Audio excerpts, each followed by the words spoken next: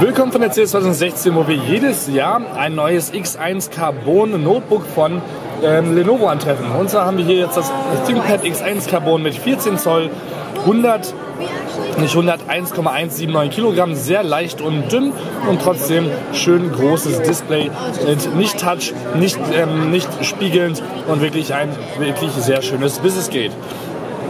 Einmal ist es gerade am Strom angeschlossen, aber da können wir weiterhin auch noch andere Dinge anschließen, natürlich, wenn wir so wollen. Ein ähm, Docking-Anschluss darf natürlich bei der Business-Reihe nicht fehlen, so wie hier ist zwar jetzt gerade ein USB 3.0 Stecker angeschlossen, ähm, aber daneben wäre noch ein DisplayPort, den wir jetzt leider hier nicht erkennen können oder nur schwer erkennen können. Ich kann es jetzt hier nur schwer ins Bild halten, aber vielleicht sieht man es hier ganz leicht, dass da noch ein DisplayPort ist. Gehen wir einfach mal weiter. Ich will natürlich hier nicht den Alarm auslösen am Stand. Des Weiteren auf der nächsten Seite haben wir weiterhin USB 3 Stecker, HDMI-Anschluss, Headset ähm, und ein Kensington, also noch kein USB 3.1. Bei Business-Geräten scheinbar noch nicht so wichtig. Und wie ihr sehen könnt, das Display lässt sich auch weiterhin 180 Grad nach hinten kippen. Wirklich sehr schön. Und Lüfter haben wir hier dann entsprechend auch noch auf der Rückseite äh, von dem Gerät, beziehungsweise auch eine SD-Karte lässt sich hier noch einschieben und eine SIM-Karte. Das darf man hier nicht vergessen.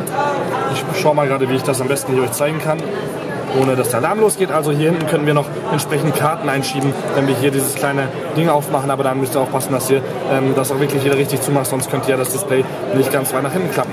Von unten kann man sehen, leider RAM und ähnliches ist nicht so leicht auszutauschen, aber bis zu 1 TB interne SSD könnt ihr noch dazu ähm, buchen, wenn ihr wollt. Und ein i7 mit ähm, vPro-Prozessor ist auch maximal möglich hier bei dem X1 Carbon. Schauen wir mal, wie schnell das hochfährt. Aus dem Standby wieder. Oder fällt jetzt noch gar nicht hoch. Leuchten tut zumindest nicht so sehr. Schauen wir uns auf jeden Fall die Tastatur mal an. Die schaut wie immer auch sehr gut aus. Fühlt sich sehr gut an. Ist vor allem schön leise. Ähm, und hier unten haben wir natürlich noch den rosenlosen Trackpad mit den integrierten Tasten. Ähm, oder auch hier natürlich noch die Taste integriert.